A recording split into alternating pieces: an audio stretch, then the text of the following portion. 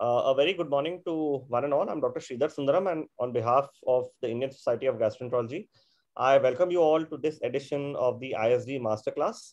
Today, we have uh, an eminent speaker with us, uh, Professor Pooja Sakhuja. She's the professor and head of the Department of Pathology uh, at GB Pant Institute of uh, Postgraduate Education and Research.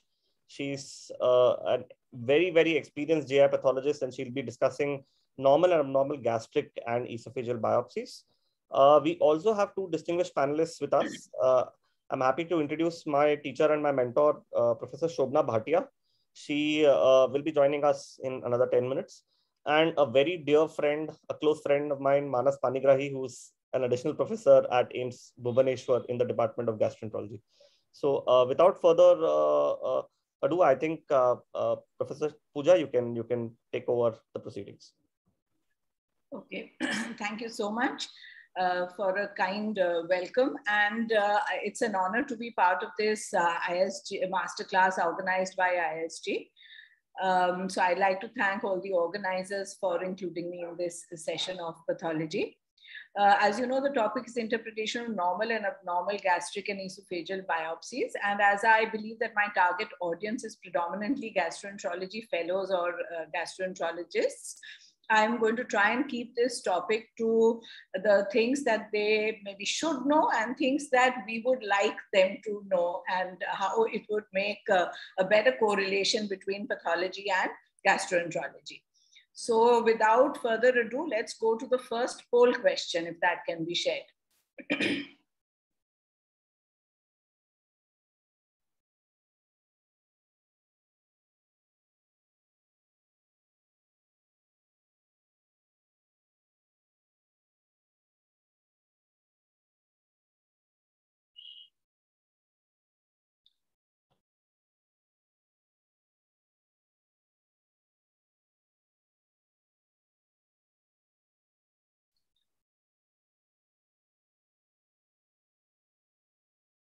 Okay, so um, I think we've got a fair number of results now. So uh, most of you have said one in five, but actually the correct answer is one in 10.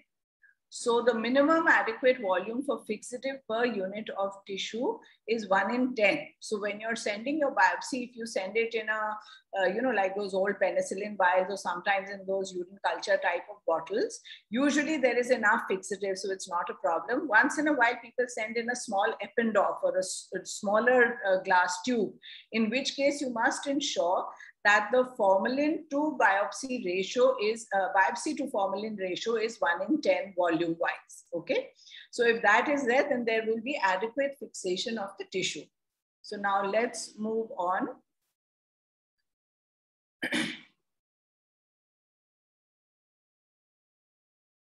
So let's first look at the normal morphology of the esophagus. What I'm going to try and do is take you through the normal morphology of esophagus and stomach first, and then we'll talk about the non-neoplastic and neoplastic disorders of both conditions. So the normal morphology of the esophagus, as all of you are familiar with, is um, uh, it is in the thoracic compartment of the body with um, a, a length of up to 36 to 40 centimeters approximately uh, from the incisors. Now, the uh, I don't need to show you this. Actually, the only importance of showing you this is that it is important on the form that it must be mentioned either which part of the thoracic compartment or how much distance from the incisors has the biopsy been taken from, because that gives the pathologist a good idea of where the biopsy is from. As, as we go ahead, you will see that different areas will have a different significance. And sometimes we might have to ask you to take more biopsies from a different area of the uh, esophagus if we think enough have not been taken as in eosinophilic esophagitis or even Barrett's, etc. So we'll come to that. Now, this is, of course, a whole mount view of a full thickness of esophagus just to show all the layers. And that is common to all the intestine, that there is mucosa, lamina propria, muscularis mucosa, submucosa, muscularis propria, and adventitia in the esophagus. The rest of the uh, intestine has serosa. And there are minor differences here and there. The dotted lines, as I'm showing here, is where a biopsy would actually be taken from. So a biopsy would typically include some mucosa, some lamina propria and muscularis, and depending on the site of biopsy, it may or may not include much of the submucosa.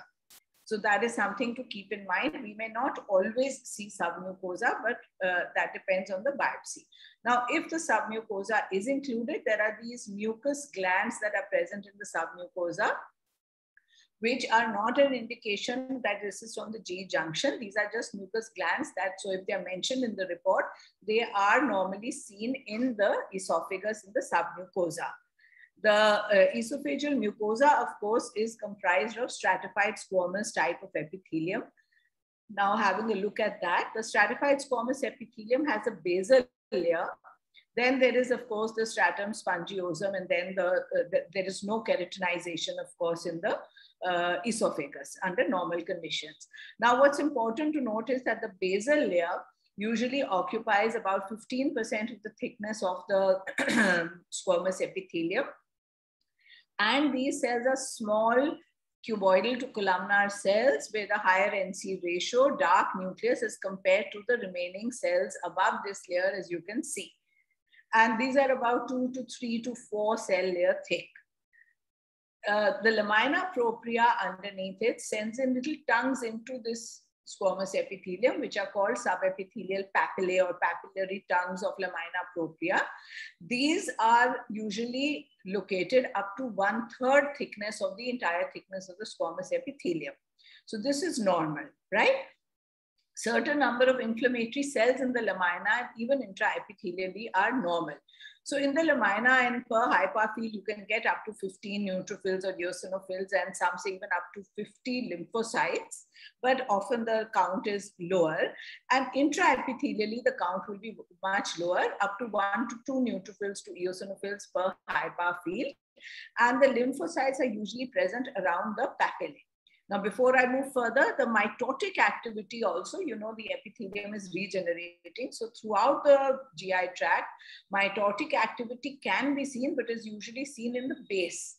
Basal cells of the uh, squamous epithelium, base of the crypts of the glandular epithelium. Now, as you can see in this high part, these tiny dots are all lymphocytes. So you can normally also certain number of lymphocytes which are more aggregated near the subepithelial papillae that are present but can be in the uh, now let's come to the poll question two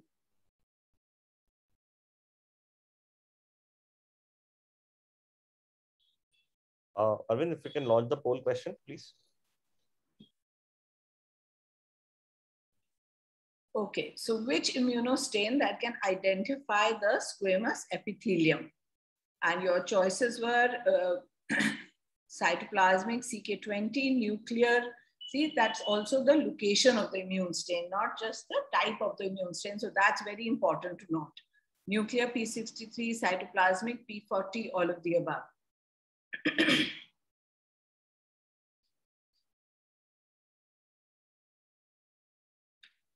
So if um, how many participants we have? Has everyone uh, shared it? So anyway, I'll go ahead now. Most people must have answered. So um, the correct answer is actually someone something that nobody has picked. It is nuclear P63. So nuclear P63 is the correct answer. CK20 is the cytoplasmic stain, but is seen in the lower GI tract. Cytoplasmic P40 is wrong. P40 is an immune stain that will stain that, but nuclear again, not cytoplasmic, and therefore not all of the above. So the correct answer, in fact, is nuclear P63. We can uh, finish with this poll now. So this is an example.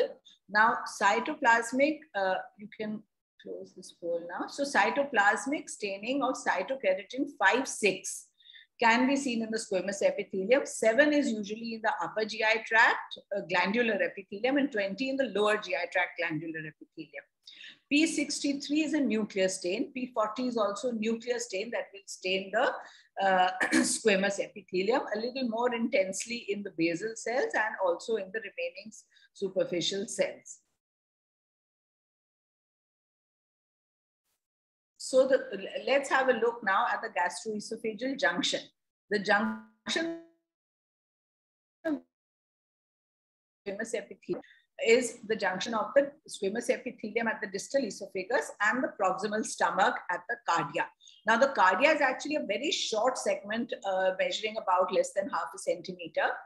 And this region of the junction usually shows pure mucus glands, not the specialized cells that we see in the remaining part of the stomach. And occasional oxyntic cell can be seen, but usually pure mucus glands.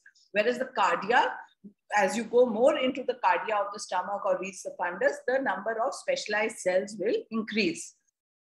This knowledge is important because we need to differentiate it from Barrett's esophagus, of course, knowing where the biopsy has been taken, as I'll come to that later, and from intestinal metaplasia at the gastric cardia. So these things I will discuss later.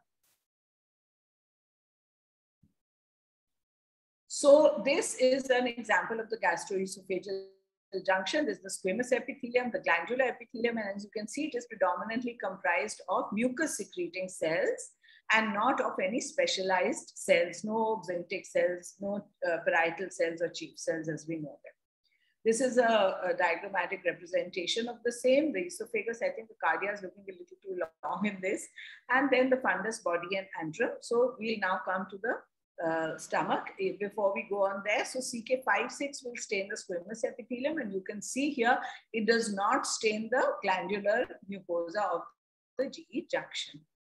This is what we call multilayered epithelium. Now this may be seen at the gastroesophageal junction, but if it is seen more proximally, what it shows is squamous type of epithelium and at the superficial part of it is the glandular epithelium. So we call this multilayered epithelium.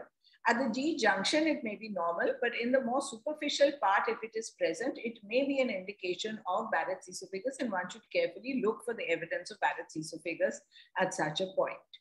Now, the normal morphology of the stomach, again, the same four layers. The additional part, of course, is that there is an inner oblique muscle where a circular longitudinal is seen throughout the intestine. This is not really important when we're talking about biopsies because they don't go down to the main muscle layer. Can we share poll question three, please?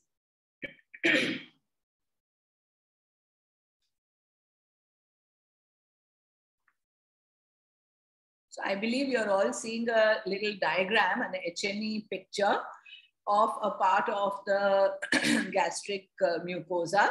And what you need to tell me is, is it from the G junction, cardia, body, or antrum?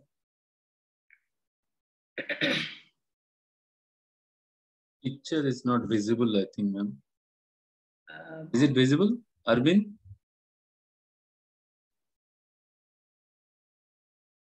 Well, some people are answering, so I wonder if uh, it is visible. No, the picture's not seen, ma'am. I think. Uh, I cannot see it on my screen actually. Uh, I can only see the whole format. So I'm not sure uh, uh, uh, if the picture is visible or not. Anyway, I think we just go ahead then because if the picture is not visible, then I'll show you which picture it was in the next minute.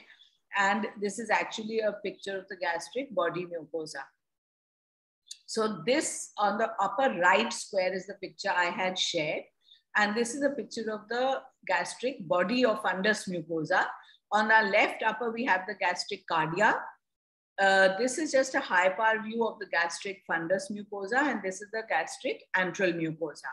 So now what is important to note here is that whether it is cardia, fundus or body or antrum, the superficial part is the same, eh, which is what we call the superficial glandular zone, which is all composed of the foveolae, gastric foveolae having uh, tall columnar epithelial cells with a basal nucleus and the rest is occupied by mucin.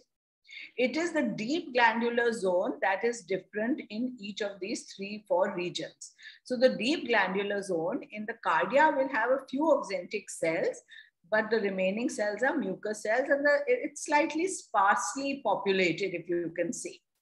Whereas the fundus and body are very densely packed with specialized cells. The chief cells, the uh, parietal cells, the endocrine cells.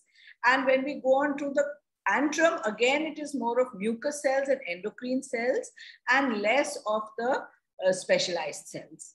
So this upper layer, which is highlighted by the red box is common to the entire stomach, but with a difference, which I'll just show you in this diagrammatic representation. So in the cardia and the fundus body, the uh, superficial glandular zone is shorter. However, the entire thickness of the cardia is also shorter. But in the cardia, it's occupying about 50%. Now, in the fundus, it occupies just about the upper one fourth or one fifth of the mucosa, and the mucosa in the fundus body and antrum is thicker. But in the antrum, the uh, superficial glandular zone again occupies about 50% of the thickness. So it is least in the fundus body and more in the antrum. Now, this is a high power view showing these specialized cells which we can identify by the presence of these uh, bluish or pinkish granules. So these make them a little different from the usual mucous cells, which you can see over here. And even here, these are the regular mucous cells, which are pale in color, the cytoplasm, whereas a granular eosinophilic or basophilic cytoplasm would indicate chief or parietal cells. The endocrine cells are also present haphazardly scattered here and they usually have, if you see over here, this sort of slightly triangular appearance with a dense eosinophilic uh, cytoplasm. Of course, now with uh, so much immunohistochemistry, if I need to identify these, I can use immunohistochemical tools. Now, this is a mucin stain, which is important because later we may need to use it for certain diagnosis. It is important to know that the stomach, throughout the stomach, we see only one type of mucin normally, and that is neutral mucin, which picks up the PS stain in a periodic acid Schiff Alcian blue stain combination. The Alcian blue stains blue, as the name indicates, periodic acid stains magenta, and this is picked up by the PS neutral mucin magenta stain. The lower GI tract after the stomach, it has acid mucins, which are picked up by the blue stain. The immunohistochemically, we have different types of mucins also. MUC1, 2, 5, and 6 are the common ones in the GI tract, of which MUC5AC, as it's called, is the one which is most common in the stomach. So tumors that have a gastric phenotype will show positivity for MUC5AC. For example, even ampullary carcinomas can have a gastric phenotype and there they will then stain with MUC5AC. So it is good, useful to see this to identify a particular type of phenotype. Now this is a synaptophysin stain which will pick up the endocrine cells. Now this is a biopsy from the gastric body mucosa.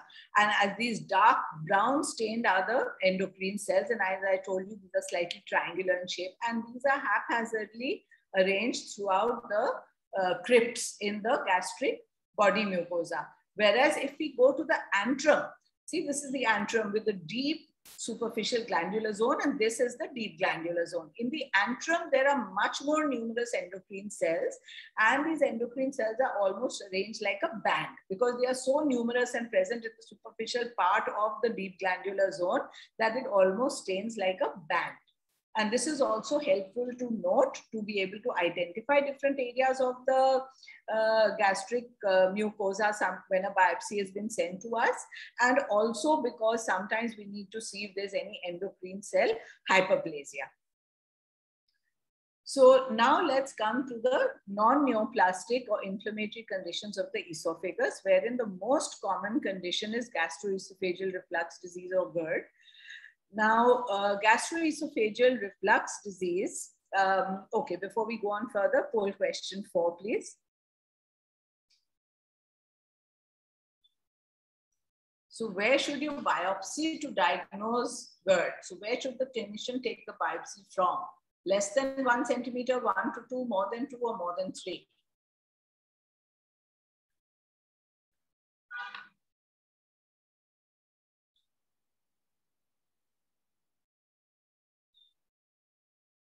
Okay, so it's nice to know that a question that should be answered more by clinicians is being uh, given a better. Most of you, 44% have answered correct for the gastroesophageal more than two centimeter above G junction. That is the correct site. If you go below that, then often there is there may be um, uh, the presence of certain inflammatory cells or glandular mucosa, which will hinder the correct diagnosis. So therefore, it should be at least above two centimeters of the gastroesophageal junction to make a diagnosis, to give a correct diagnosis of GERD. So now let's look at the, um, sorry. So uh, gastroesophageal reflux disease, as we know, is when there are reflux symptoms. And if we see a biopsy that shows, which I'll come to, certain changes of reflux without inflammation, then we also just call it as consistent with gastroesophageal reflux. When we see the addition of inflammatory cells, then we call it reflux esophagitis. So it does not have to show us inflammatory cells, in which case we just call it symptoms are consistent with reflux. When to biopsy? Now, as you all know, most of you don't biopsy routinely, uh, you know, may not, because it's pretty um, common, you know what the patient is having. You may not even do an endoscopy. But if you're suspecting for any reason Barrett's or carcinoma, it's a long-standing reflux, there are risk factors, you want to rule it out. Or if the patient has atypical symptoms like chronic cough and you're not sure if the symptoms are actually uh, reflux or something else, or if a patient is on refractory treatment, then probably you would take a biopsy. And this is probably a question that you can answer better than I can where to biopsy. As I said, definitely more than two centimeters above the gastroesophageal junction because some squamous hyperplasia and occasional gastric uh, tongues and especially in hiatus hernia, there can be changes that are there in the uh, mucosa between one to two centimeters of the gastroesophageal junction. In addition, you must target any areas of suspected metaplasia or dysplasia or any visual abnormality. It is good to take additional biopsies in separate vials from the normal area, from the gastric cardia and the stomach. So that one can see where is the greater degree of inflammation, which is the key focus point of the pathology and where these other changes may just be um, changes that are uh, uh, going parallel to that or just like a reactive changes because of the main pathology. So even if the main pathology is in the gastric fundus, we may say some inflammatory changes in the uh, esophagus. So if you take a few biopsies from the cardia and other regions of the stomach, it is definitely helpful. These should all be in different bottles and labeled separately. Histological criteria for GERD. One, basal cell hyperplasia. I told you normal is up to 15%, so it should be more than that or five to six cell layer thick. Second, more than two thirds of the thickness of the squamous epithelium is where these papillary projections of the lamina propria are reaching. Then if there is esophagitis, then you can see neutrophils, eosinophils, and lymphocytes in the squamous epithelium. In addition, you can see intercellular edema.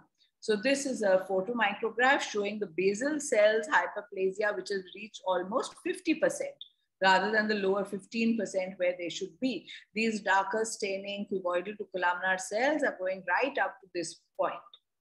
Then uh, this is another photomicrograph. The arrows are pointing towards inflammatory cells. I think the blue ones are eosinophils and the uh, black ones are neutrophils. And then this is showing the lamina propria tongues, which are, or papillae as we call them. And these are going up, as you can see in the thickness. This is the upper one third, and these have reached the upper one third, whereas they should not have been above, say, somewhere here in the normal. And of course, there is basal cell hyperplasia.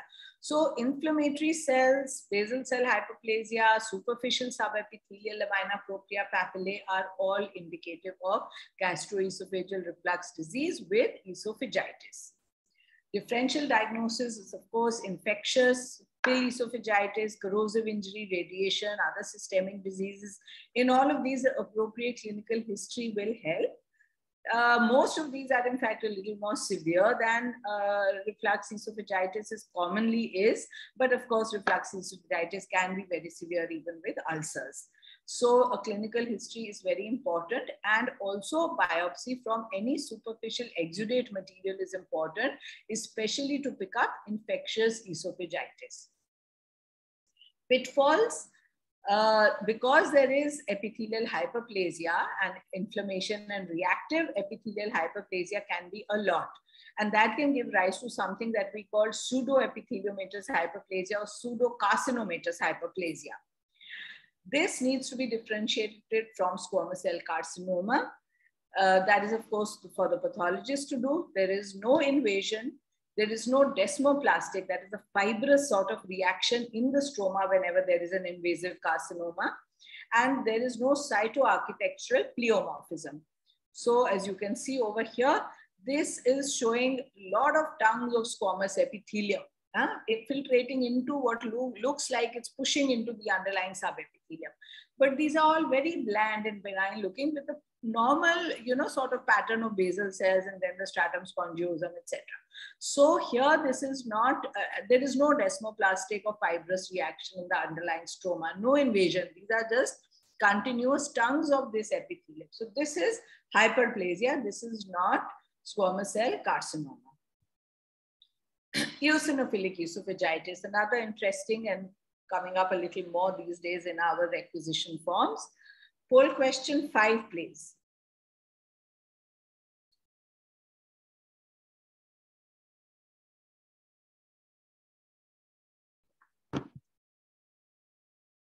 Number of eosinophils to diagnose eosinophilic esophagitis.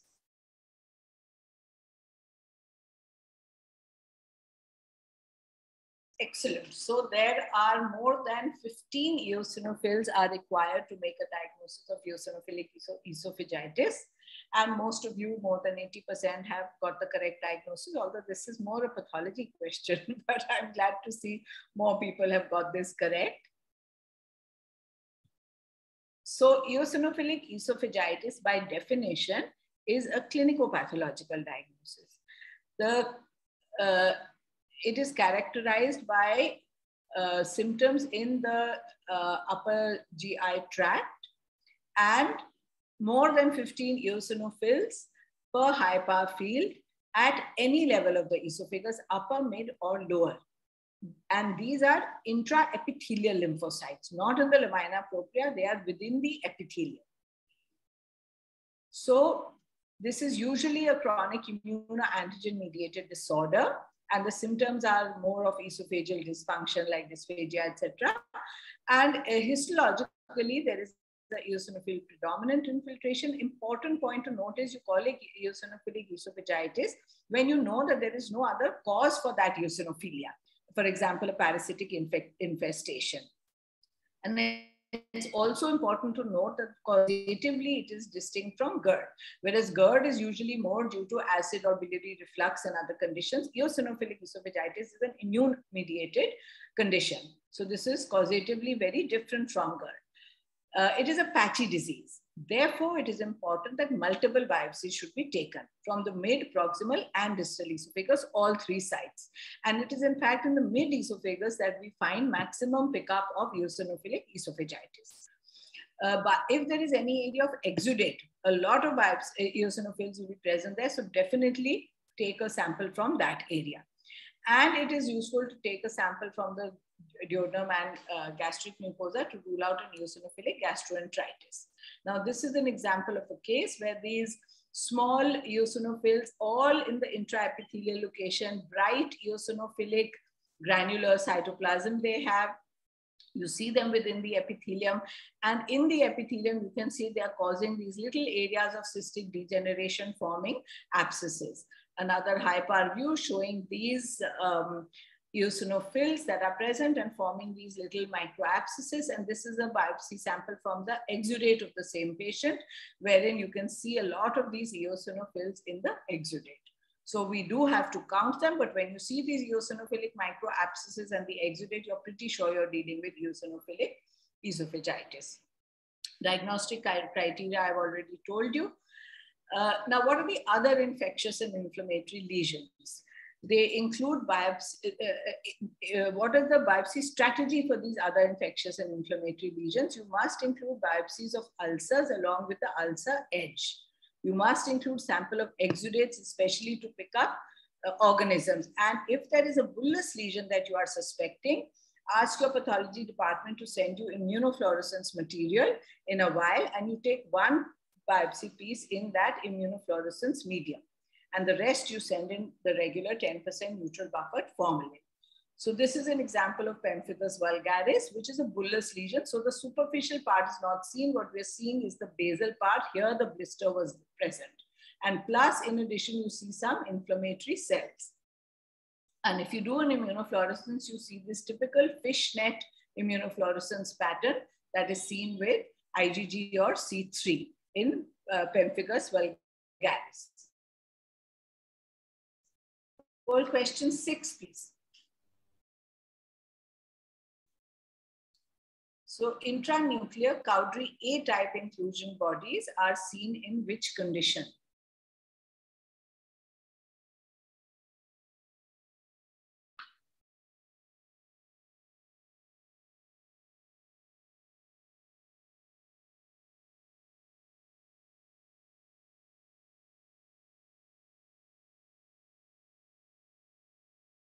Okay, so typically Cowdry A type are a nomenclature we typically give to herpes simplex virus infection. Yes, sometimes some people do mention it in cytomegalo, but they are typically that uh, morphology is seen in herpes simplex type of virus infection.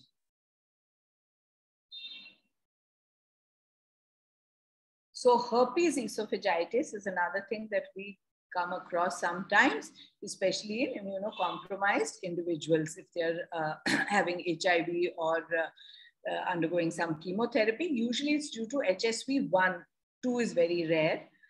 And the most common site in the GI tract for herpes simplex, in fact, is the esophagus.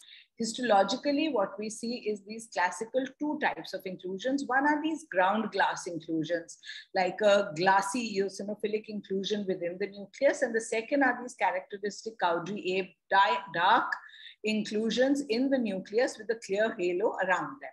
These are the Cowdry A type of inclusions. And in addition, you see some multinucleate giant cells. Now, whenever we see multinucleate giant cells, because that is easier to pick up on low power, we definitely go to high power to look for the ground glass or a Cowdry type of inclusions. And it is in a background of mononuclear inflammation. And if there is any doubt, one can do a immunohistochemical stain for herpes simplex virus and this, uh, make a confirmatory diagnosis. Type 1 and 2 are not distinguished on histology, and um, most of the cases are due to type 1. Now let's have a look at Candida infestation. Uh, now, since Candida is part of the normal microbiota flora of the GI tract, it's usually seen this fungal infection if there is an immunosuppressed patient. The most common type is Candida albicans or tropicalis. These are budding yeast and pseudohyphae. So what you need for the diagnosis is not just to see Candida buds, but you must see the budding yeast form or the pseudo hyphae, which means that these are growing there. They are not just present as a commensal and in a background of active esophagitis. In, uh, if there is no inflammation, be very uh, you know, cautious of saying that this is candidiasis. You may have picked up a few spores of candida, but it may not be candidiasis. We use special stains like silver or PAS to diagnose fungal infections. This is a, a stain where you can pick up much better than H&E, the candida. These are the pseudo hyphae. So these are just the budding yeast forms which have gotten a little elongated and arranged in an end-on manner, um, you know, tail to toe, and therefore they look like hyphae. But these are not hyphae. These are just budding yeasts, and these are all the spore forms. And if you can see the background, all these cells are inflammatory cells. So in an inflammatory background, we have these budding yeast forms. Of course, you need to also differentiate from less common infections like aspergillus, where you have true uh, hyphae with acute angle branching, true branching hyphae, and histoplasma, wherein they, these are smaller organisms which are usually present within the macrophage. So these uh, can be distinguished. Now coming to the big uh, topic of Barrett's esophagus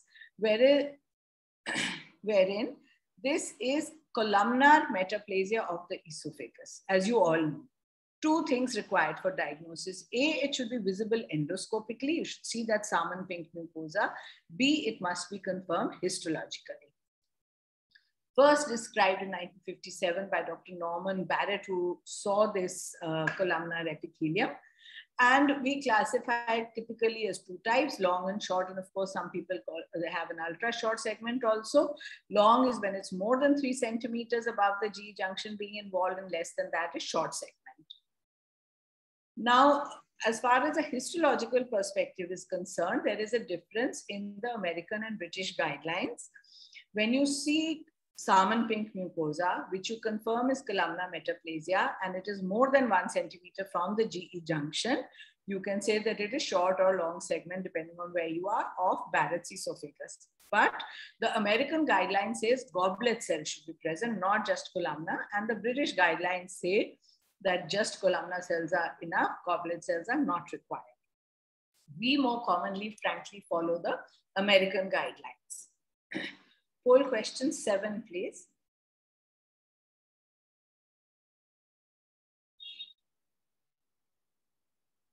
So what is the special stain to identify Barrett's epithelium? Is it a trichrome, a crystal violet, a PS Alcian blue, or a toluidine So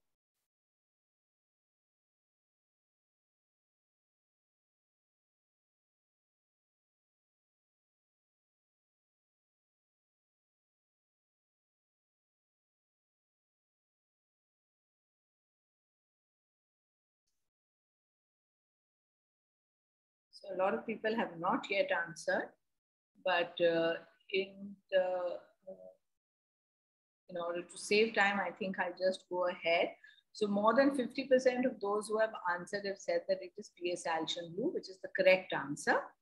Masson's trichrome is for fibrous tissue and muscle, so that is used much more in the liver. Crystal violet is not uh, used for this at all. It is a magenta colored stain, but it does not show these mucins.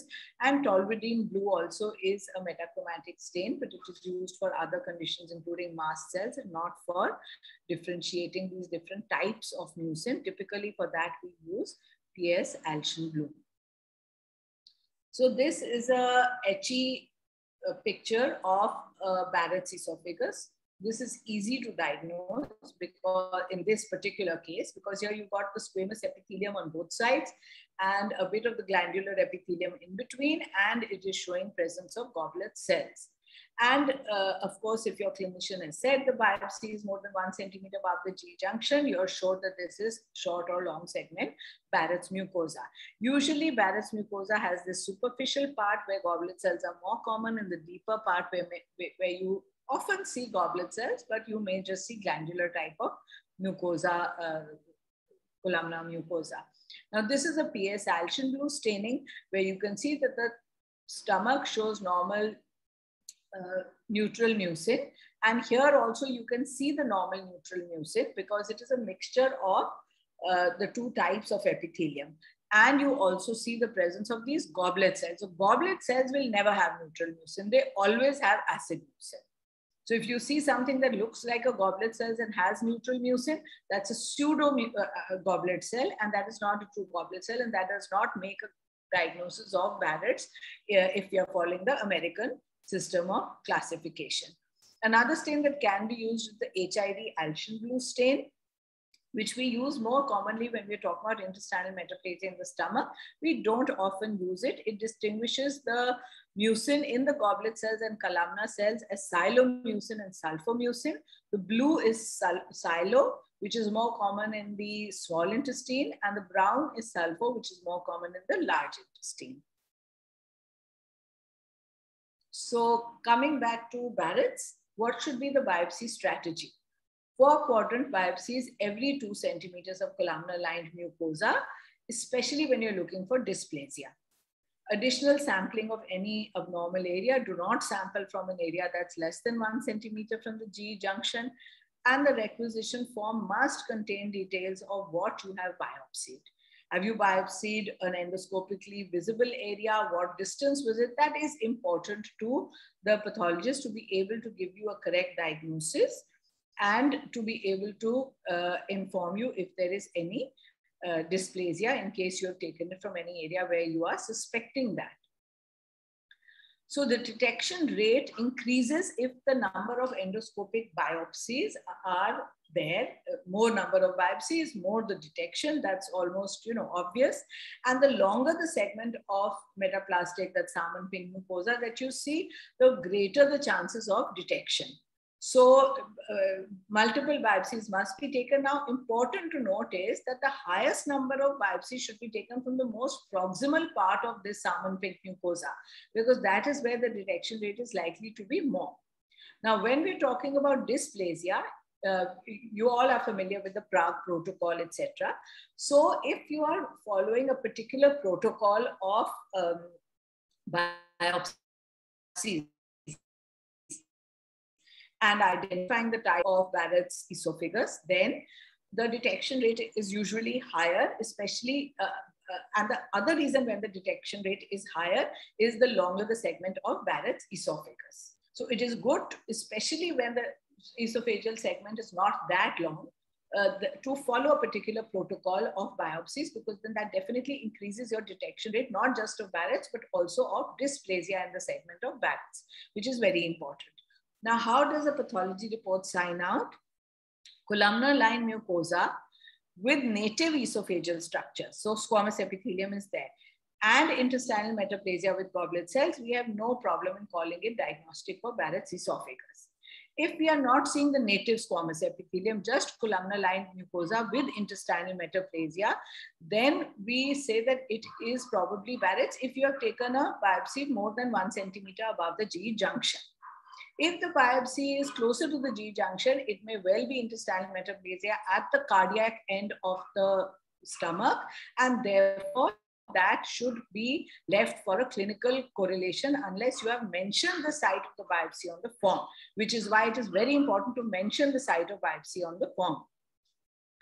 If we see only glandular epithelium but no intestinal metaplasia, then in the British guidelines, you can say that it may be consistent with uh, Barrett's, but we usually do not sign it out as such. And we usually say that this is um, in keeping with, but not diagnostic of Barrett's.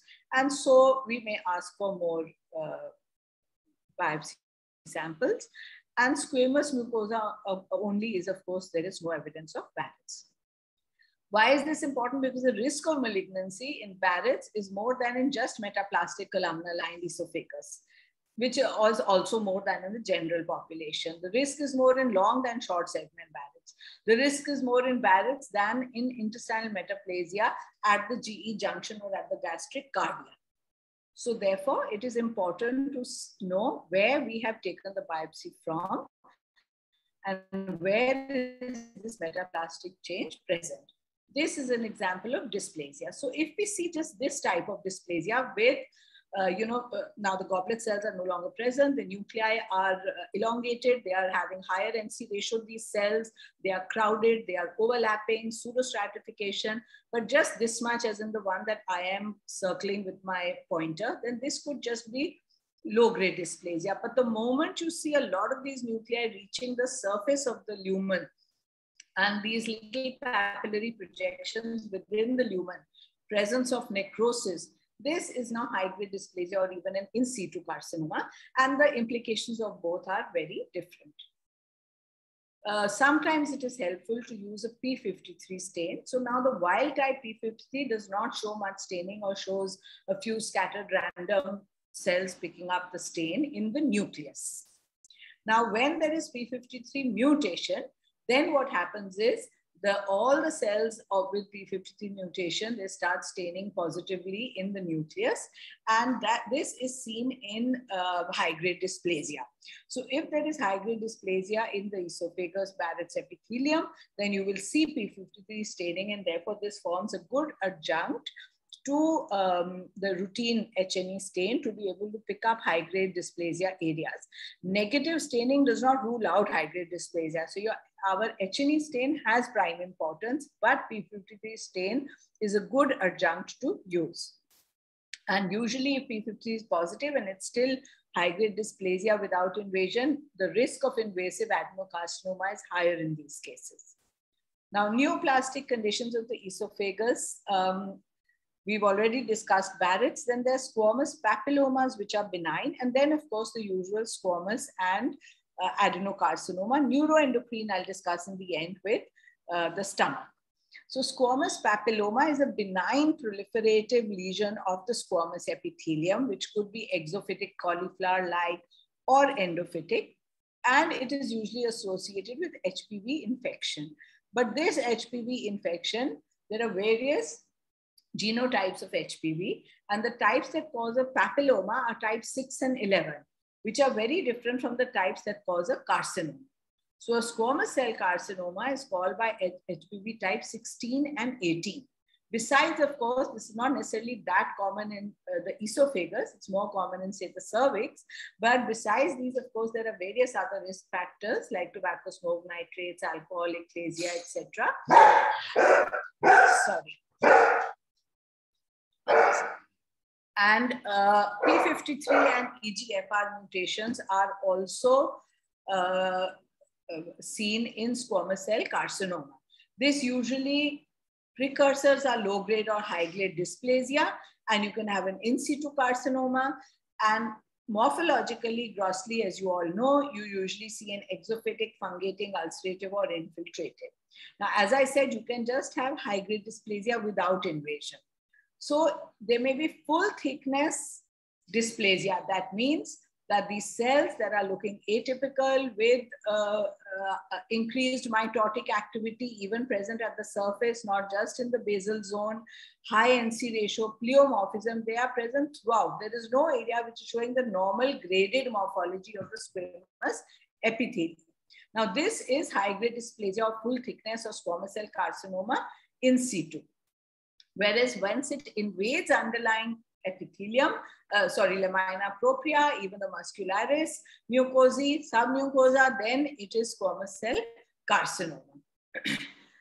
P63 stain can be used. Now, P63 stain very often we are given a can you please confirm by IHC. Now, IHC is not going to confirm to me whether it's an invasive carcinoma or not. That only tells me that yes, it's a squamous cell carcinoma and therefore is helpful if I want, if, if the carcinoma is in the lower part of the esophagus, then I want to make sure, yes, I'm dealing with the squamous cell carcinoma. There's no chance that it's a adenocarcinoma or a mixed adenosquamous carcinoma then P63, CK56, etc. will help. And these are negative for CK7 and 20, which are more seen in adenocarcinomas. So the normal epithelium, whether dysplastic or normal, and the tumor will both show this.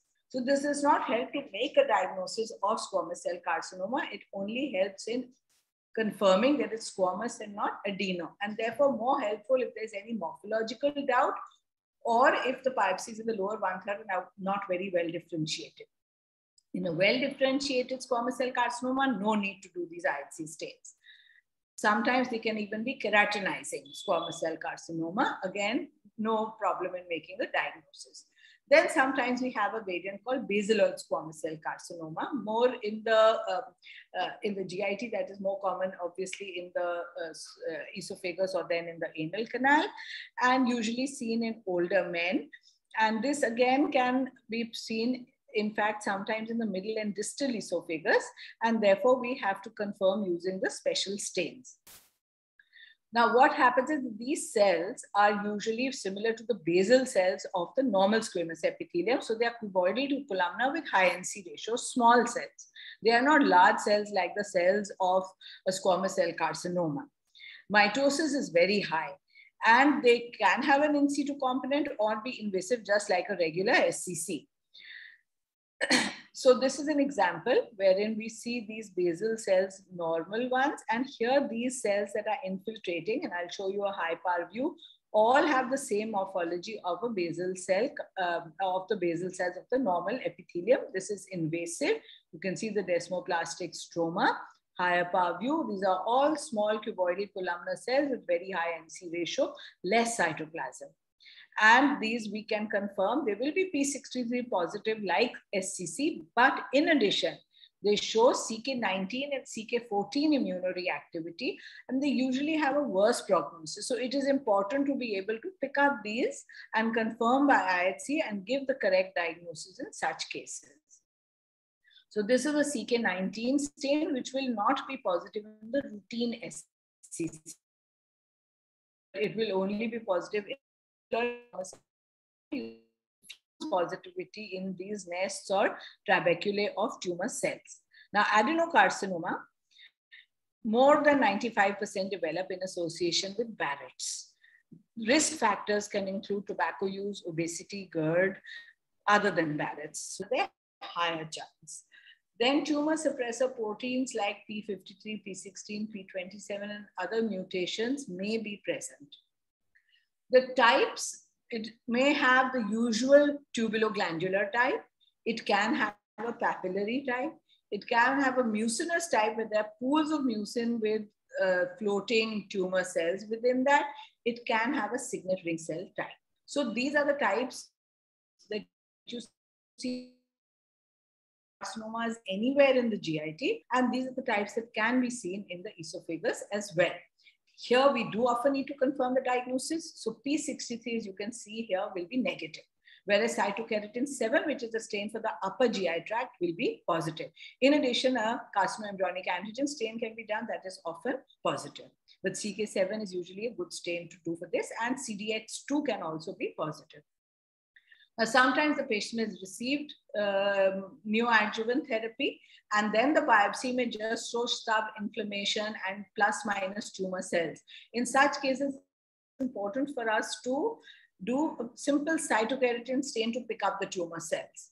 And based on the amount of tumor that we, uh, we see, we can grade the carcinoma. However, I won't go into details of this because this is usually left for resections after neoadjuvant therapy rather than for a biopsy. In a biopsy, we can only tell you whether we are seeing any tumor cells or not. And of course, we will tell you the quantity of tumor cells, but ideally these gradings are not to be done in a biopsy. Now, another, now let, moving on to some of the mesenchymal tumors. Another tumor that is not common, but in the GI tract, it is most common in the esophagus, is uh, a granular cell tumor. This is a tumor of Schwann cells in adults, more common in women than men, usually asymptomatic or uh, picked up, you know, just when you're doing um, uh, endoscopy for some other reason, but sometimes it can cause dysphagia. Small, usually small in size. This is one of our cases, small little tumor, and maybe an EMR or something can uh, resect most of the tumor. Sheets and nests of rounded polygonal cells with small uh, nuclei and abundant eosinophilic granular cytoplasm is the histological hallmark. And these cells are subepithelial location. It's not an epithelial tumor, it's a mesenchymal tumor. And these granules are usually red when we do a PAS stain. So this uh, is the typical morphology, large cells, polygonal cells, smaller nuclei. So NC ratio is not high and abundant granular eosinophilic cytoplasm. And immunohistochemically, a lot of stains may come positive variably, but what stain often uniformly comes positive is S100. So with the characteristic morphology and an S100 stain showing positivity of these large cells in the subepithelium, it is simple to make a diagnosis of a granular cell tumor.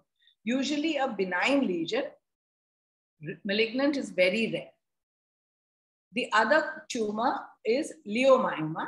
Leiomyoma is more common than GIST in the stomach uh, uh, GIST is more common in the stomach. Leiomyoma is more common in the esophagus. We can get multiple seedling leiomyomas, small, small leiomyomas. For example, this one here. And so these, when they are resected the, uh, uh by EMR, you see the classical pattern of elongated cells arranged in bundles and whorls. In hyper, you can see these with oval nuclei. And then when you do an immunostain for smooth muscles, such as smooth muscle actin, desmin, calponin, or caldesmon, these will be positive, usually benign with low mitotic activity. Now uh, we'll come to the gastric. In case you want to take a little break over here uh, for some question answers, then the moderators can guide me. Otherwise, I go on with the gastric.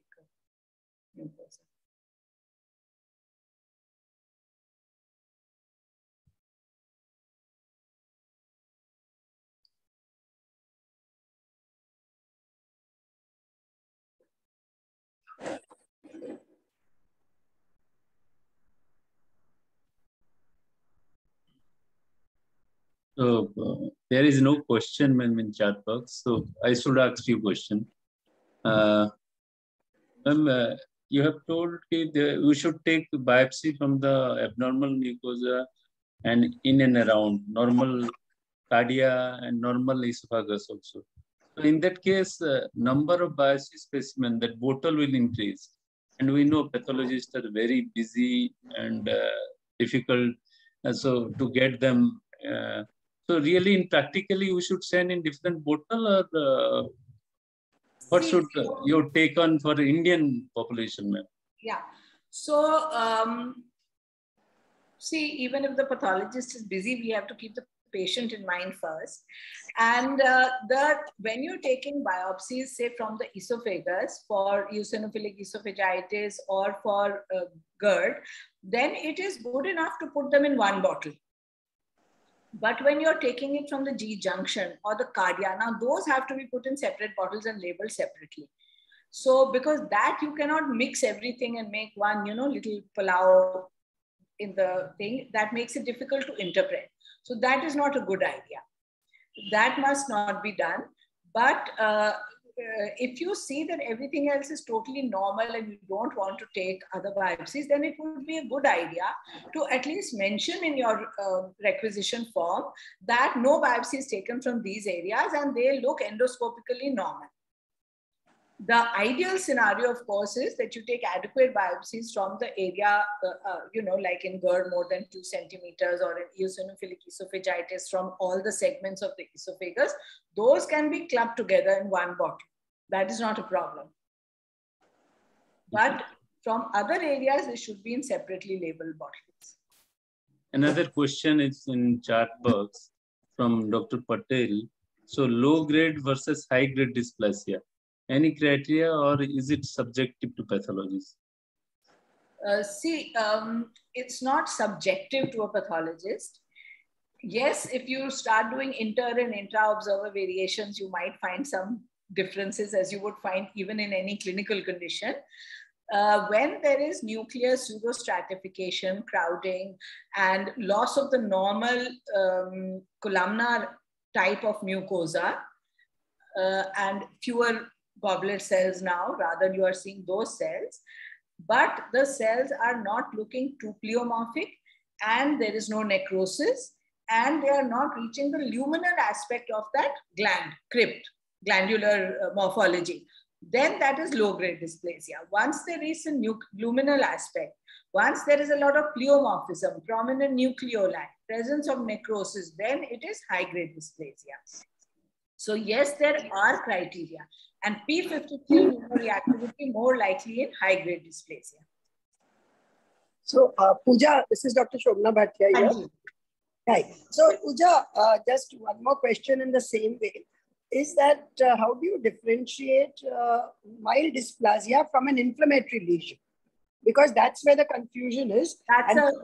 dysplasia, it is said that you need at least two trained pathologists to be able to confirm mild dysplasia before you give away this report. So yes. just a little comment on that, please.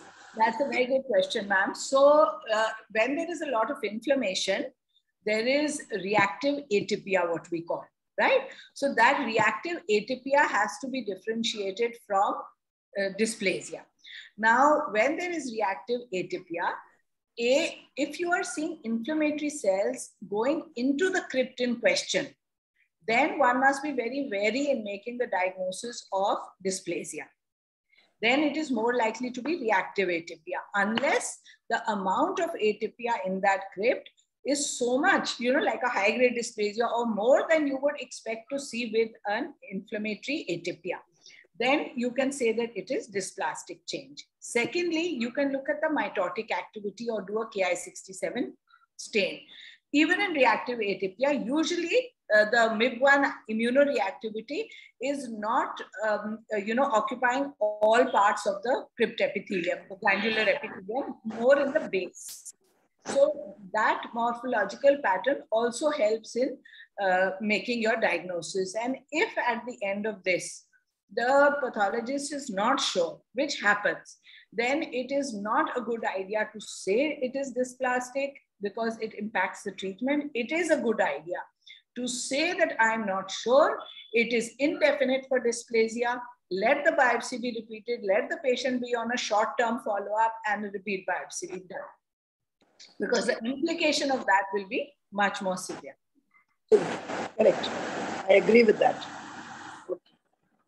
Another there, question, In the chat, is there one more question? Yes, ma'am. Yes, Sona ma'am. Another question is there. So it is from Dr. Neha. Clear cell changes present in squamous cell carcinoma of esophagus. Point to level as signet ring variant of squamous cell carcinoma? Any diagnostic criteria?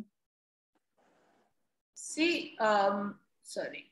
So signet ring variant of squamous cell carcinoma, A, it's very unusual. Secondly, at that time, you must be able to see signet rings. So you must see the cells that are having a rounded morphology now, not polygonal, and that the nucleus is pushed to the periphery. Uh, only then is it becoming a signet ring uh, morphology. And it is very rare. So that is something that one should be careful about. We're not talking about signet ring adenocarcinoma. You see, now you're saying signet ring variant in a squamous cell carcinoma. So here you have to be very wary. It is not common. And secondly, you must make sure that you are getting the proper signet ring morphology in a fair number of cells. Now, I don't think there are any specific diagnostic criteria as we have for signet ring cell carcinoma in adenocarcinoma, but it should be present in a fair number of cells. So I would say that maybe the same 50% or whatever, but since it's very rare, this is not commonly, does not commonly come up. Since no question in chat box, man. we should proceed on. And uh, I will encourage our audience to put uh, their question in the chat box so that we can okay. Uh, discuss it. So now, uh, quickly, I think I'm trying to uh, the non-neoplastic and inflammatory lesions of the stomach. So the stomach will, uh, antrum and fundus is clearly different. I showed that to you earlier, but if there is atrophic gastritis, it can look similar. So what are the biopsies that we receive? And in one vial, that is the way it is normally done. Those are the FAB 5 biopsies. So if you always follow the same protocol, then it makes life easier for the pathologist. In fact, it does not increase our work because I know I expect to see these five biopsies in that vial. So if I see something amiss, then I know there is some pathology there.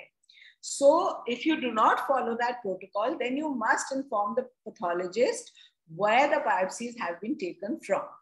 So the FAB5 biopsies are usually two from the body, from lesser and greater curvature, one each, one from the incisura in angularis and two from the pylorus, which is, I think this has shifted a bit my those circles on this side, and two from the pylorus, again, one from lesser, one from greater curvature, from the antrum. So it is important to uh, take these five biopsies as that would cover conditions that are more commonly in the gastric body and conditions that are more commonly in the antrum as we'll see as we go ahead. So these can be placed in the same bottle as I said, but if there is an ulcer, a mass, a polyp, something else, then that should be placed in a separate bottle and labeled separately. If there is an ulcer, the edge biopsy must be taken because the main ulcer may only show exudate on some infection material if it is there. So the ulcer edge biopsy, if they're looking for malignancy or the etiology of the ulcer must be taken separately as well. Now these should be labeled separately. The FAB5 can go in one bottle. Other important information in the requisition form is, especially when you're looking for Helicobacter, has the patient been previously treated? Has he been treated for H. pylori or has he or she been treated with PPI? Now, Helicobacter pylori is difficult to see on H&E. So if you are expecting it, then definitely mention it so that that lab will do the appropriate special stains also. Some labs like ours do it for every case, but many labs may want to save on extra sections and uh, you know stains and the work of the technicians. And therefore, they want to do it only on select cases. Then PPI therapy, it changes the morphology and location of the organism from luminal to intracellular, from spiral form, as I'll tell you later, to coccobacillary form. So you must inform the treatment that has been given to the patient. Poll question eight, sorry. Poll question eight. Can you please share the poll question? So which special stain is done to identify H. pylori? Is it immunohistochemistry, Warthin-Starry, modified Giemsa, or all of the above?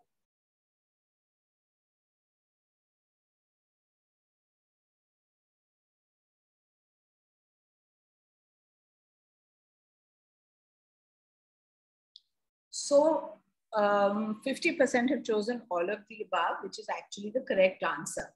Both Warthin-Starry and modified Giemsa will stain it. Giemsa modified is a easier stain to do, so it is more commonly done. In fact, immunohistochemistry can be used if required, but is not cost effective and is not routinely done unless you know you really need to.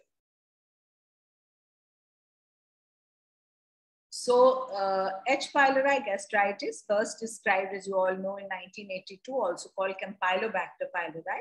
It is gram negative, so we don't use gram stain to stain it usually. It is a flagellate coccobacillus. So it usually has 2.5 spirals and can be present even in the coccobacillary form. The characteristic form where we pick it up diagnostically is when it is present as a 2.5 spiral flagella uh, atrophic gastritis or diffuse antral gastritis or type B gastritis is the common lesion associated with it. In addition, it can be uh, cause for MALT lymphoma or adenocarcinoma. So if you see these conditions, you can look for H. pylori in the adjacent normal mucosa. Now this is a H&E and a modified Giemsa stain. On H&E, as you can see, these are paler and more difficult to pick up in these places, but an experienced pathologist uh, can pick them up even on H&E. But if the clinical index of suspicion is high and I'm not seeing them, and especially, you know, when the density of the organism is low, then you may not pick it up that easily on H&E, then a Giemsa stain will help. Of course, what I'm showing you is very high density, but it's not always uh, so high. You have to pick up, even if there are two, three organisms uh, with Giemsa stain, you should be able to pick it up. What it's commonly associated with is inflammatory cells, neutrophils in the lamina propria and infiltrating the epithelium which in large intestine, as you know, we call cryptitis. In the stomach, we call it pititis, since these are gastric pits and pit abscesses. So pititis and pit abscesses are commonly seen as are lymphoid aggregates. So if you see these, these should raise the index of suspicion for you to really look carefully for and get a special stain done to rule out the presence of H. pylori gastritis if uh, they are more commonly found in the antrum. However, if PPI treatment is given, then they move up to the body mucosa. Now, most people have been given PPI treatment by the time they reach you and you do an endoscopic biopsy. So therefore, the Fab5 become important because even if it's present in the body mucosa, we will be able to pick it up. Often associated with epithelial degeneration, cryptitis, etc. As I told you, it can be associated with intestinal metaplasia. I mean, that can happen with this gastritis that occurs, but in the area of metaplasia, you will not find H. pylori. So the pathologist must screen in the other areas, not in the area of metaplasia. And usually they are found on the cell surface, uh, maybe adherent or in the mucin uh, above the cell surface. But if, if with treatment, then sometimes they move intracellularly and coccobacillary forms which may be more common, in which case a pathologist usually just says that we've seen these forms. It's not diagnostic of H. pylori, but it may be consistent with. Now, atrophic gastritis. What is atrophic gastritis? When there is a gastritis, that is, there's inflammation, there may be pititis, abscesses, varying grades of gastritis, but in addition, there is loss of glands.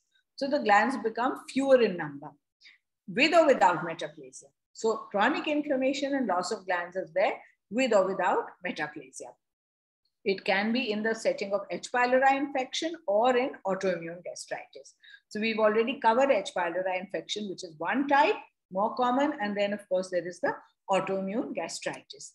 Regardless of the etiology, the diagnosis of atrophic gastritis should be confirmed by histopathology if the clinician is suspecting it on um, endoscopy. So it may or may not be associated with H. pylori, but the more severe the loss of glands this is a diagrammatic representation. So this is normal, lot of glands, whether it's antrum or body. And as the atrophy increases, the number of glands in the deep glandular zone, mind you, the superficial glands remain the same. But in the deep glandular zone, the number of glands decrease.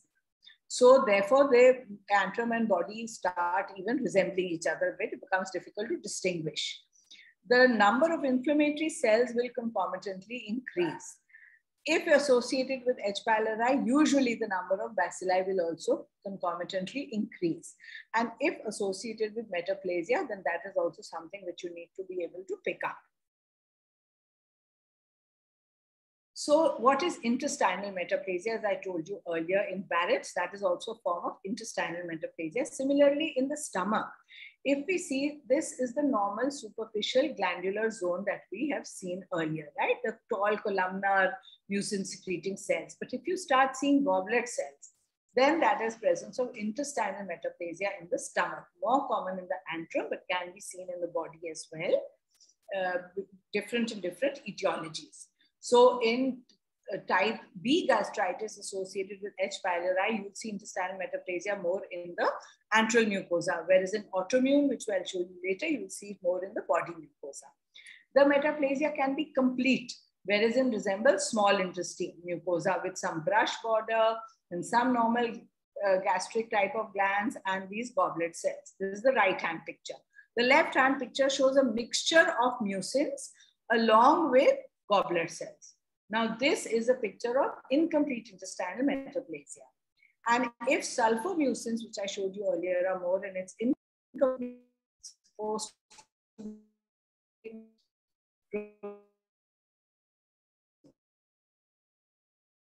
and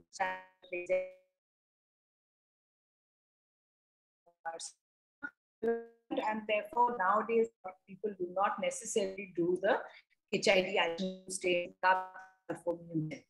so what is type A gastritis? It is non-infectious, not associated with H. pylori. It is immune mediated, corpus predominant. So in the body mucosa. And here there is progressive destruction of the oxyntic mucosa, so more often associated with atrophic gastritis. Intrinsic factor are reduced, therefore it leads to pernicious anemia.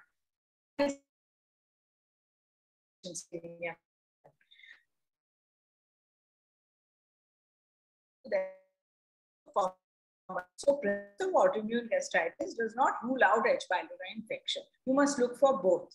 Intestinal metaplasia here is more common in the body and pure autoimmune gastritis is antral sparing, more in the body mucosa.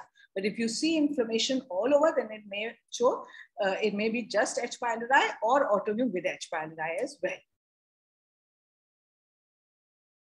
So this is an example of uh, gastritis where there's a lot of inflammation and some paucity of glands. But why I'm showing you this LOPA, you'll not be able to appreciate. But now in hyper, you can see there is paucity of the normal glands, a lot of inflammation, including some lymphoid aggregates. But what I'm drawing your attention to, when there is atrophic gastritis, especially autoimmune, or when there is a prolonged PPI therapy, what a pathologist must look for is also the presence of these nests of endocrine cells depicting endocrine cell hyperplasia. So these are just few that I've circled in black.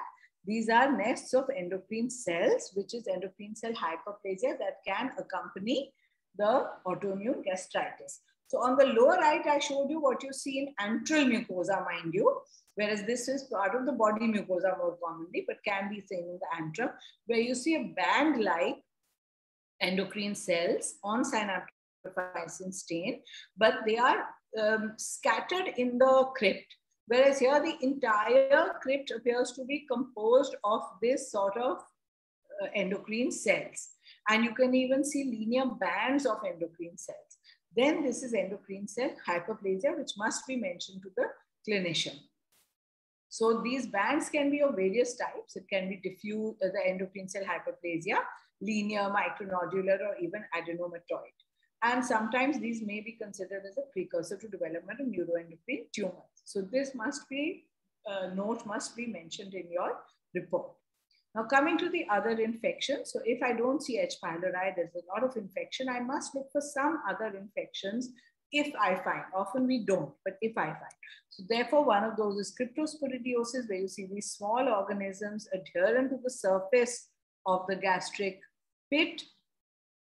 And it's a high power view. These are typically attached to the surface mucosa. And these can also be picked up on Giemsa, which you use for your H. pylori. And therefore, it's useful to look at the gastric pits and the surface especially. And this is cryptosporidiosis.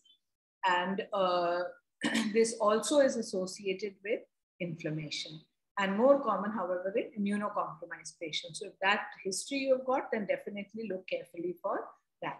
Then erosive gastro gastritis. So when there's a lot of ulcer and erosion, there could be various reasons for that, including H. pylori. One of the things that pathologists must look carefully for is iron pill gastritis. Now, other pills like NSAIDs may show a similar picture, but what do they, they do not show is the presence of this brownish uh, substance adherent to the exudate and the superficial mucosa. And this is usually due to iron pill. They may just show the same form of an erosive ulcerative gastritis. When we do a Perls stain, we can see the presence of this iron adherent to the surface epithelium and in the mucosa, which is iron pill gastritis. More often than not, this history is not present in the R requisition form. So pathologists must look for it carefully. And if we see this and stain for it, we go back and take a history from the patient. They are usually taking iron pills.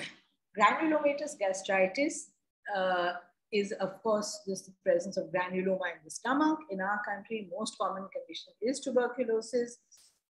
The other condition which your uh, clinician often wants to know is, is could it be Crohn's?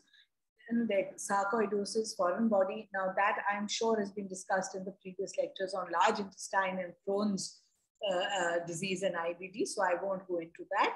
You just see these granulomas. If you see typical caseous necrosis, it's more likely to be tuberculosis, Langerhans giant cell, and of course, acid fast bacilli, not found very commonly, but the more number of man hours a pathologist spends on finding it, believe me, a pathologist can then find it. But a typical caseous necrosis, large granuloma, Langerhans giant cell, more likely to be tuberculosis than Crohn's.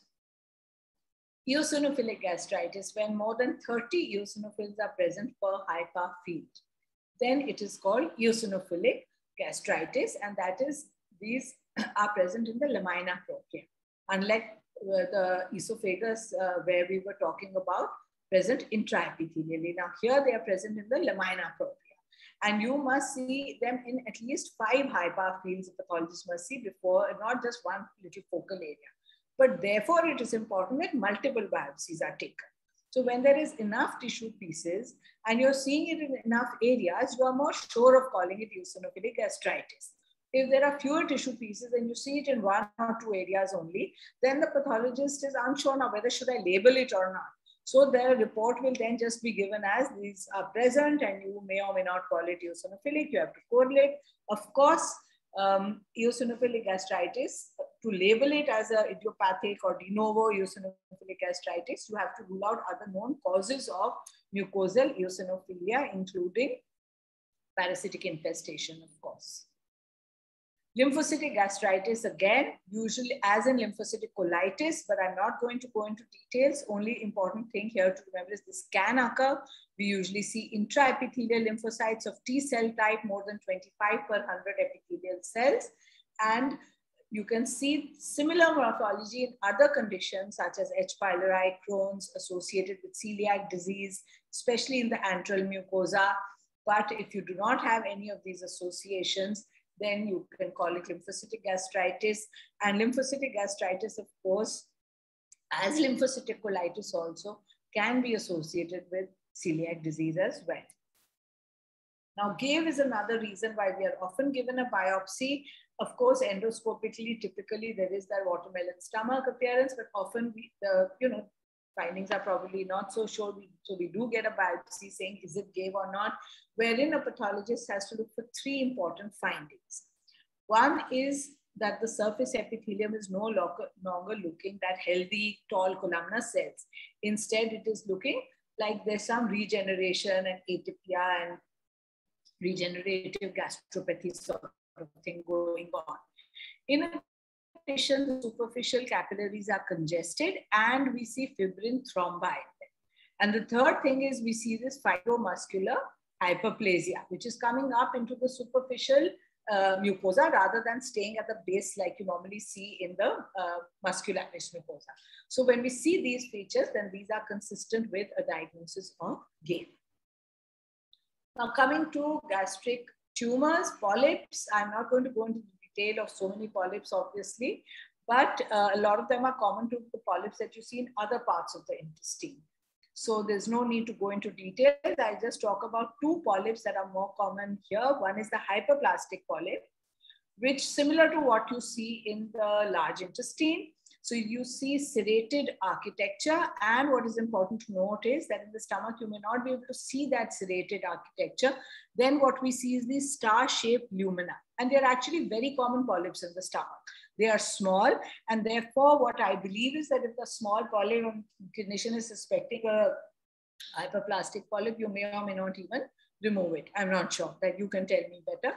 But these are common polyps, usually small in size. So, and these hyperplastic polyps have star-shaped lumina and are composed of the superficial foveolar mucosa. So in contrast, we have the fundic gland polyps, and these fundic gland polyps usually show polypoid proliferations with these cystically dilated uh, glands. And these dilated glands can be lined partly by the um, uh, superficial foveolar type of mucosa, but more commonly are lined by flattened parietal and chief cells, that is the specialized type of mucosa. As the name implies, they are seen more in the gastric, fundus, or body mucosa. And these are fundic gland polyps, usually benign, but adenomas, etc., have been described in fundic gland polyps. Now, what are the neoplasms? Of course, the most common neoplasms, other than these polyps and adenomas, is the adenocarcinoma. Then you can rarely get squamous, adenosquamous, undifferentiated neuroendocrine tumors as well. But these are all much rarer. 99% of cases are adenocarcinomas. Now, when you see an adenocarcinoma, especially if it is near the G junction, it is important at that time for the clinician to mention where, where is the epicenter of the tumor. Is it at the G junction and involving the esophagus mainly, where it is then treated like a squamous adenocarcinoma, uh, esophageal adenocarcinoma? Is it just at the G junction with the epicenter in the proximal two centimeter of the uh, G junction, then also uh, uh, esophageal type. If it is beyond the proximal two centimeter of the G junction, the epicenter or most of the tumor, then it is treated as a gastric type of adenocarcinoma. So that is important in your biopsy also test. Like all adenocarcinomas in the GIT can have a similar pattern of either tubuloglandular morphology or mucinous morphology, when more than 50% of the tumor shows mucinous, we say mucinous, and of a signet ring morphology, where sometimes it can be very focal and very subtle, and therefore definitely a pathologist has to look carefully in high power when making a diagnosis of signet ring cell carcinoma of the stomach.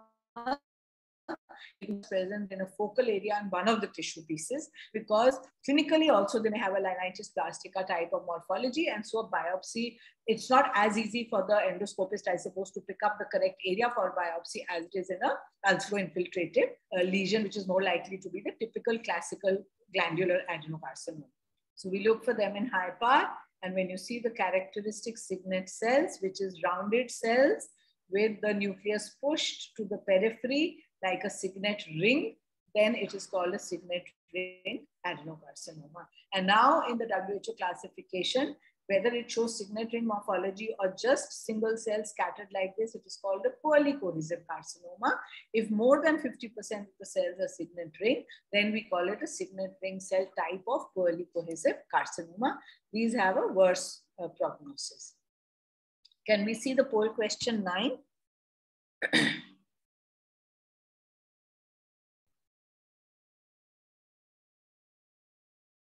poll question nine. What molecular workup should be done in gastric adenocarcinoma? Should it be HER2-neu? Should it be P53? Should it be Ki67? Should it be all of the above? What is more essential?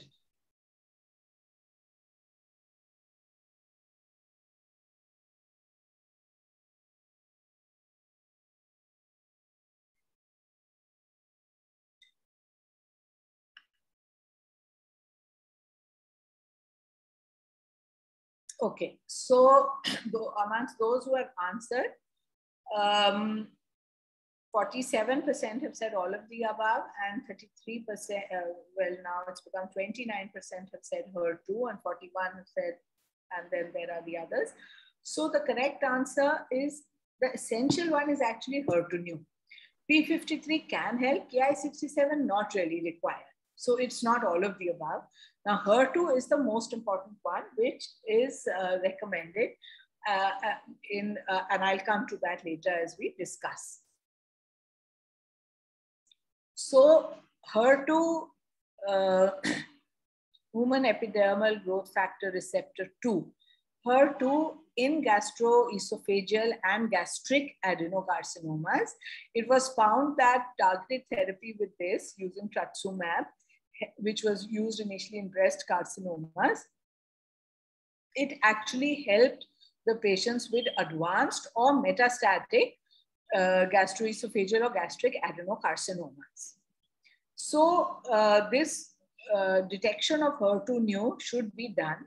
Now the um, methods to detect are very well designated for breast adenocarcinoma and similar stringent criteria have to be followed in gastric and gastrophageal uh, esophageal adenocarcinoma because it is important for clinical decision making. So whom should be tested? Now, should it be a reflex testing in all or on demand? That is when the clinician asks for it. Usually in advanced or in metastatic cases, not in other cases. So um, this is a choice of the clinician or the institution to decide whether they want it to be on demand or reflex. Definitely only in unequivocal adenocarcinoma, not in dysplasia. It can be done on the primary tumor. When there is metastasis, it can be done on the metastatic tumor. In fact, if the metastatic tumor can be biopsied, then it is ideal to do it on the metastatic tumor. If a patient has received neoadjuvant therapy, then the biopsy, which is showing that there is still an adenocarcinoma, that is where it should be tested, not in the initial biopsy, which was done prior to the neoadjuvant therapy. Uh, in a biopsy, preferably you should take six to eight tumor pieces and five separate clusters of tumor cells are assessed when assessing the biopsy. Now, how to test, you may think is for the pathologist, but I've highlighted the things that are important for the clinician you put a biopsy in formalin, right? You must ensure that the biopsy is placed in formalin immediately within one hour of sampling. Otherwise, it can change results which affect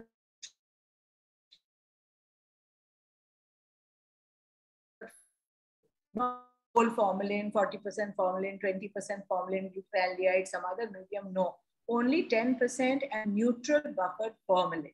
So it's good to get your formalin from your pathology lab where they prepare neutral buffer formalin. Get your formalin from the labs and place it in your um, endoscope.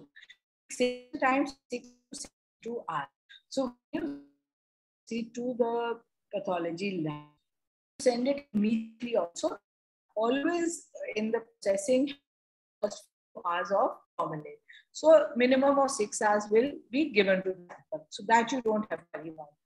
What a clinician should not do is allow it to be delayed too much. Because if you delay it more than 72 hours, then it affects the HER2-neu uh, uh, uh, training again. So that should not be done.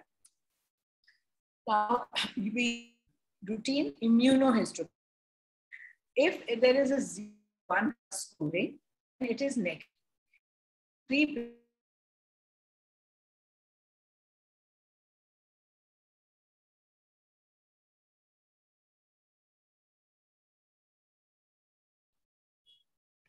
Uh, I think madam got disconnected, so we'll just wait for a minute.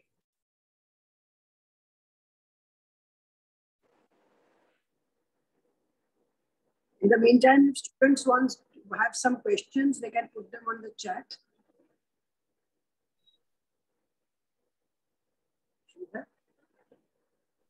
Yeah, yeah, we'll do. Uh, I think students have put some messages on the chat. There is one question, ma'am. So should we take how many pieces of biopsy from the polyp? And, uh, one piece is sufficient or multiple pieces required? One question in chat box is there. uh, ma'am, you're muted. This is from a polyp. Yes, yes, ma'am.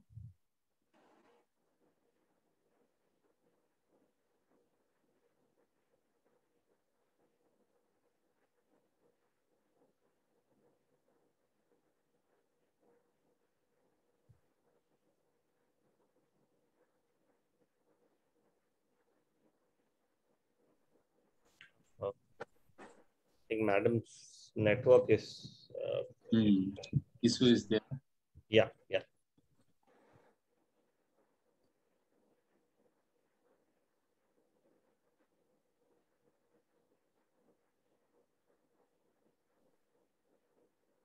I think Pooja ma'am has joined. Yeah, she's joined back. Yeah. Yeah. So because we're not talking only about any hyperplastic more question we can fundamental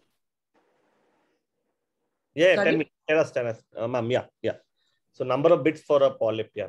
So we are not talking only about hyperplastic. Yeah, so we are also talking about adenomatous polyps. So if we receive the entire polyp, you paint the base, bisect the polyp and process most of it. If you are taking biopsies, then take at least four, five, as many biopsies as you can take from the polyp. From the polyp, uh, the more, the better. The pathologist always says the more, the better. that you know if you're going to look for malignancy adenomatous change then definitely more biopsies are better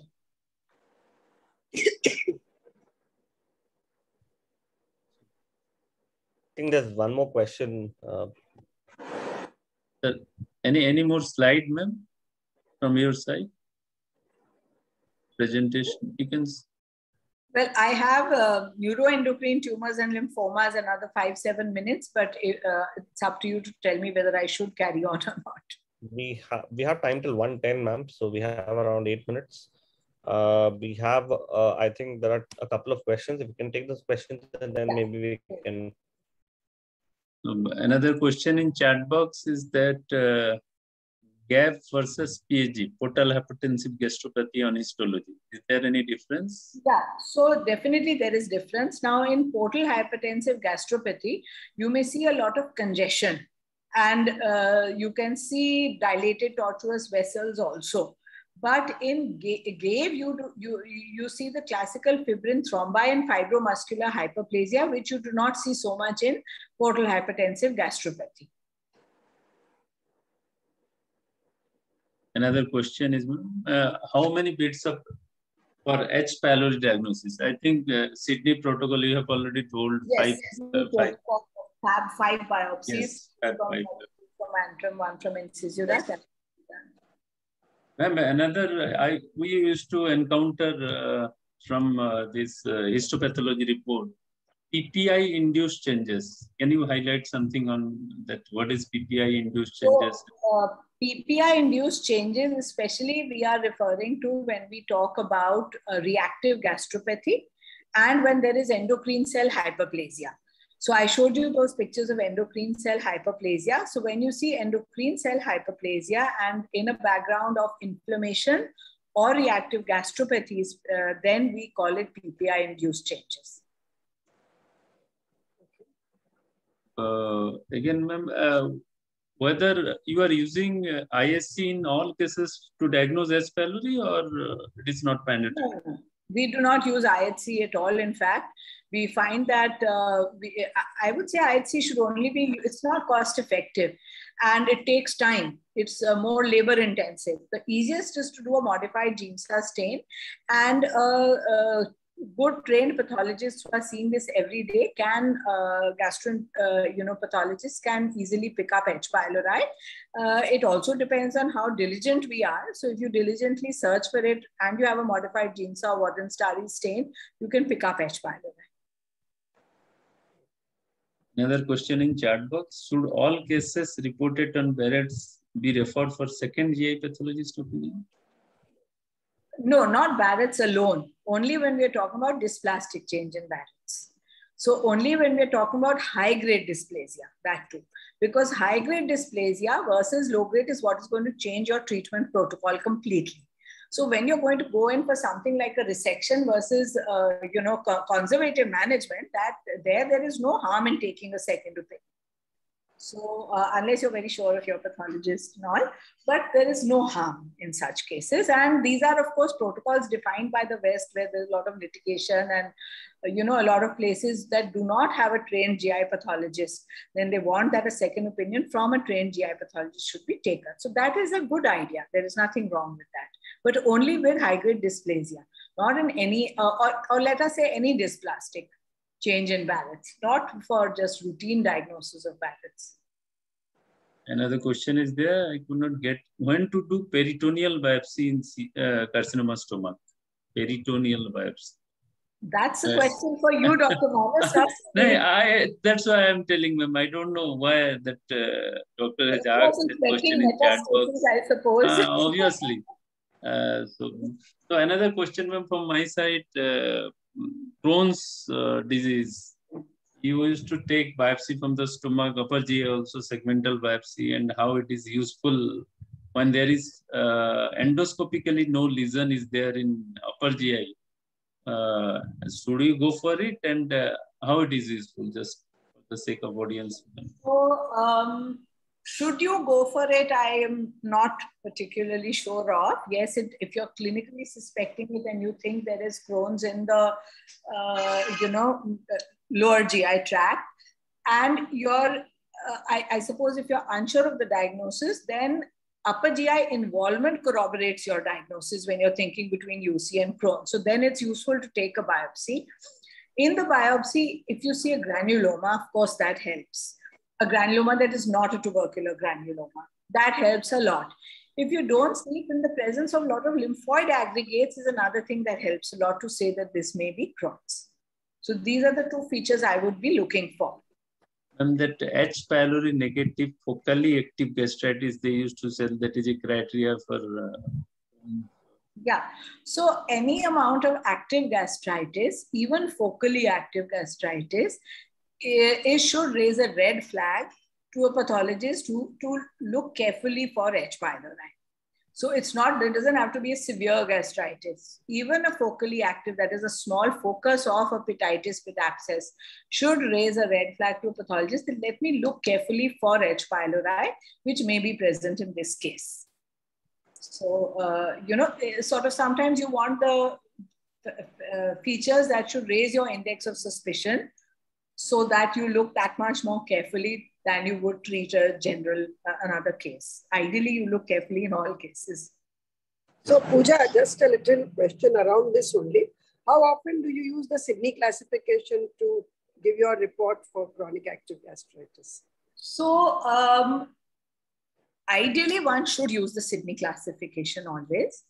I would say that if I'm sure I'm getting the Fab 5 biopsies, then I'm happy to use the Sydney classification.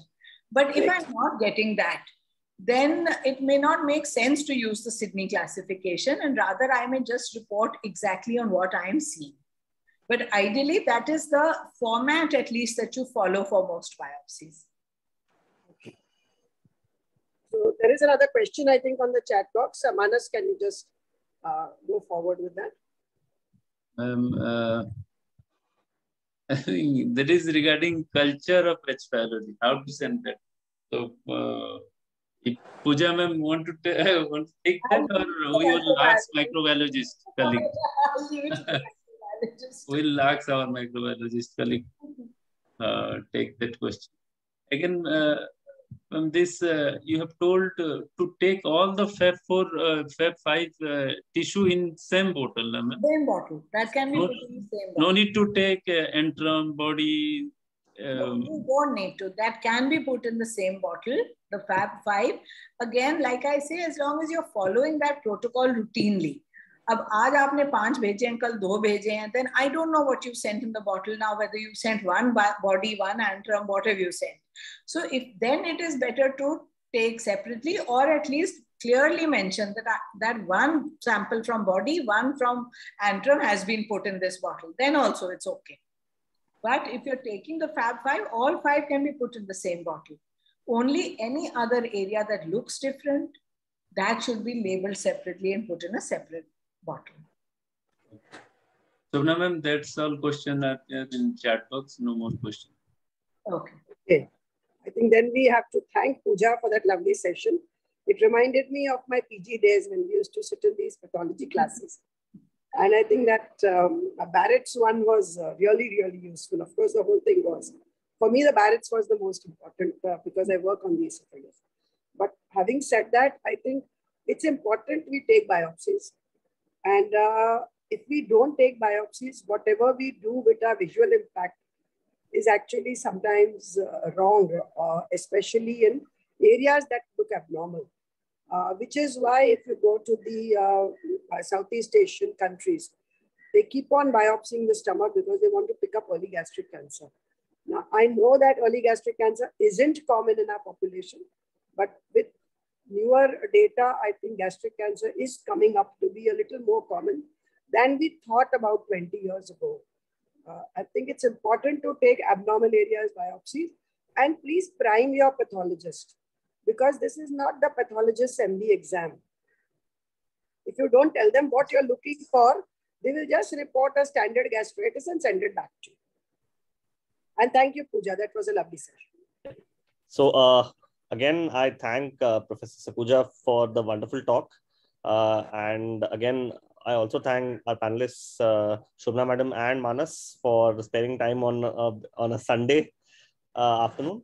So uh, I'd like to close the session now. So uh, thank you again for joining this ISG masterclass. We have the next masterclass in two weeks. I think we've finished with our pathology sessions, uh, all four sessions of pathology. Next, we are going to start sessions on radiology. So that will be after two weeks. I, I think the flyer will be sent out by the ISG office. Again, thank you so much on behalf of the ISG. Thank you. Thank you. Thank you, Thank you. Thank Bye. you.